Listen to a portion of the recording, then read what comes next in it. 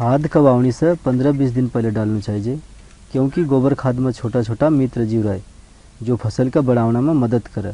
पर खाद का जल्दी डाल दे तो घाम का कारण जीव मरी जाए। खाद का अच्छे से फैलाना चाहिए ताकि सगड़ा पौधा न का बराबर खुराक मिली सके, जेका से फ़सल की बढ़वार का साथ साथ फ़सल अच्छी पकी सके। खाद फैलावना का बाद दुरावण बखर चलावना चाहिए।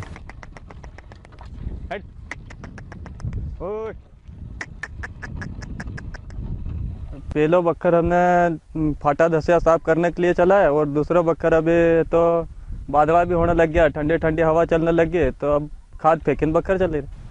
खाद हमेशा बोने से पंद्रह बीस दिन पहले डलना चाहिए। अगर ज़्यादा पहले डल जाए तो उसमें छोटा छोटा जीव जंतु रहे, वो मर जाए। जिससे अभी हमने खाद डाल दिया और खाद डाले बखर चले रहे। हट।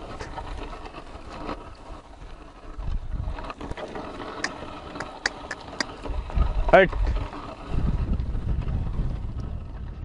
ओकर गिरना से फटाए चाहे जाए बीज अच्छे होंगे, उदी नहीं लगे। फ़सल अच्छी पाकर।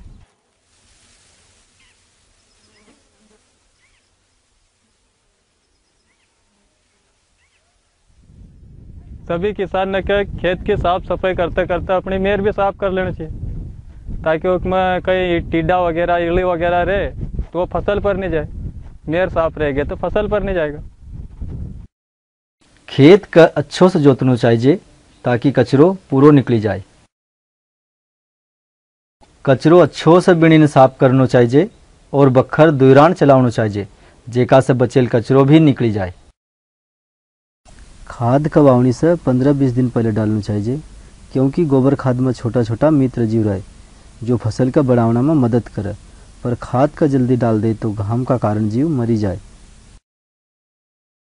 खाद फैलावना का बाद दुरावण बखर चलावना चाहिए। खेत का सही टाइम पर तैयार करना चाहिए, ताकि उदी की समस्या कम हो सके।